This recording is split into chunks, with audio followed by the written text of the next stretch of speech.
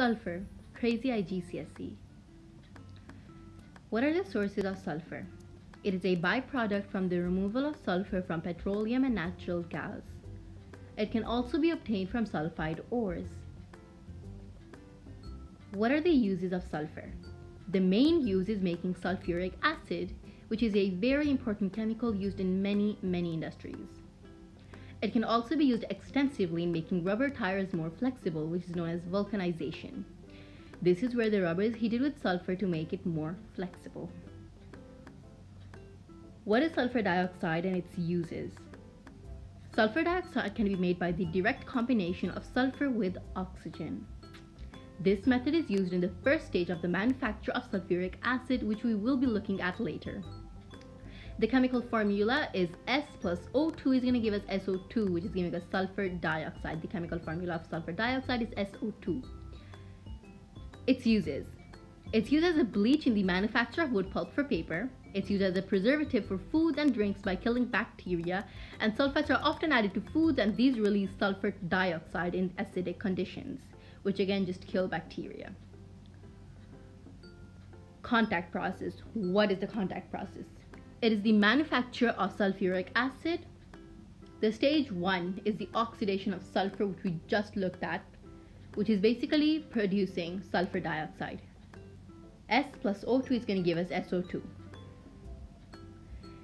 Stage 2 is the main stage is the oxidation of sulfur dioxide to sulfur trioxide.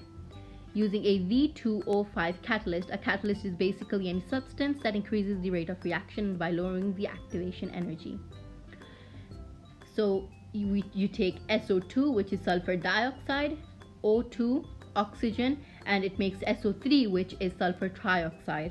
To balance the equation, it becomes 2SO2 plus O2 plus 2SO3. Keep in mind this is with V2O5 as a catalyst. Let's look at the conditions required for stage 2. The temperature should be 450 degrees Celsius. This reaction is exothermic, so increasing the temperature shifts the position of the equilibrium to the left in the direction of the reactants. Therefore, the higher the temperature, the lower the yield of sulfur trioxide produced. The optimum temperature is a compromise between a higher rate of reaction and a higher temperature and a lower equilibrium yield at a higher temperature. The pressure should be 2 atm. An increase in pressure shifts the position of the equilibrium to the right in direction of a smaller number of gaseous molecules. However, the position of equilibrium lies too far to the right. So this reaction is carried out just above atmospheric pressure because number one, it is not worth spending the extra energy or money required to produce high pressures. Number two, a higher pressure would increase the problems of dealing with the corrosive mixture of gases and it can also cause pollution. Stage 3. Once stage 2 is completed, sulfur trioxide is absorbed into a solution of 98% sulfuric acid to produce a thick liquid called oleum. So SO3 plus H2SO4, which is the chemical formula of sulfuric acid, is going to give us H2SO2O7, which is the chemical formula of oleum. It is not absorbed into water because a fine mist of sulfuric acid would be produced and this would be difficult to condense and is also highly dangerous. Then oleum, basically H2S2O7, is added to water to form concentrated sulfuric acid. So we're basically producing concentrated sulfuric acid. So H2S2O7, which is oleum plus H2O, which is water, gives us 2H2SO4, basically H2SO4, which is sulfuric acid, and we just balance it by putting 2 so we can have a balanced equation. Now, what are the properties of sulfuric acid? It is a strong dibasic acid. What is a dibasic acid? It's basically a 7, which is oleum, plus H2O, which is water, gives us 2 H2SO4, basically H2SO4, which is sulfuric acid, and we just balance it by putting 2 so we can have a balanced equation. Now, what are the properties of sulfuric acid? It is a strong dibasic acid. What is a dibasic acid? It's basically an acid which has two of its hydrogen atoms that can be replaced by a metal. It also reacts in a similar way to other acids with metal carbonates, the oxides, hydroxides, and ammonia. And there are, these are some examples given that are worth reading so you can understand its properties more easily. Concentrated sulfuric acid is corrosive and a powerful oxidizing agent, so you can already guess it's used a lot in redox reactions. It is also a very powerful dehydrating agent and is very good at removing water from other substances.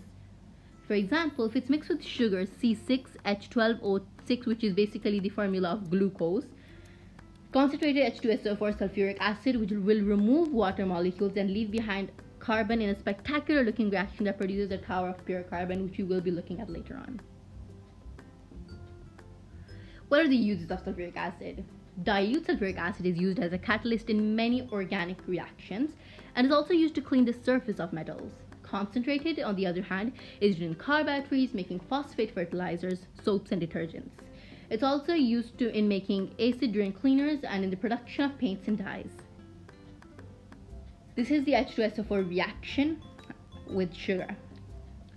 So we've got a beaker at time 0 seconds and we are adding concentrated sugar sulfuric acid and glucose in this beaker and we're adding dilute sulfuric acid and glucose in this beaker right here. If you look when we have when we are 15 seconds in we get this black tower. This is a tower of carbon and if you see there's nothing happening to the dilute solution. If you look in about one minute you can see there is a higher carbon tower with, with the concentrated sulfuric acid and there is nothing going on with the dilute sulfuric acid. So that basically just shows the different properties and the different reactions based on these two different um, concentrated and dilute H2S, H2SO4s. That was it. I hope you guys enjoyed this video. Make sure to subscribe, like, and share this video. If you guys have any suggestions or if you want me to make any other videos on any other chemistry topic, please let us know in the comments. Thank you so much.